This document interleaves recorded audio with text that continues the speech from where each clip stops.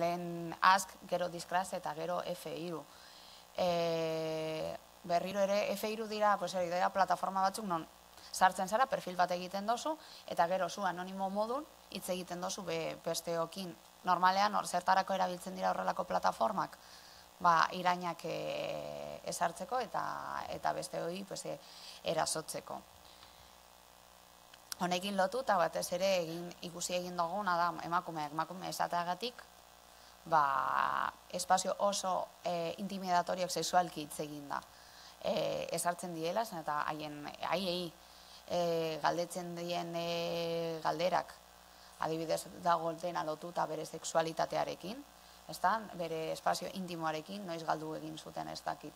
Virginitatea, semotatako neurria dekon adibidez bularretakoan, horrelako e, eta niri harritzen dagoena da batez ere haiekin hitz egiten dodanean normaltzat hartzen dutela.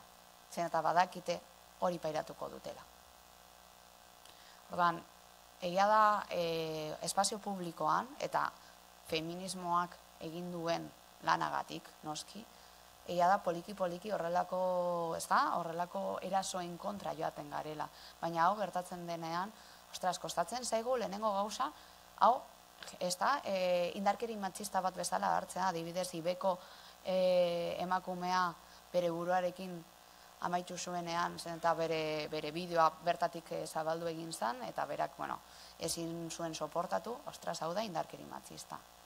Eta berak pairatzen ari du horrelako indarkeria bere gorputzaren gatik eta bera emakumea delako.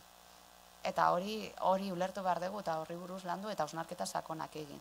Eta beti ere, lehen aipatzen eban bezala, beste e, faktorekin elkar gurutzatu. Ez da berdina esatea emakumitzuri bat o emakume beltz bat. Ez da berdina esatea anistasun funtzionala edo ez.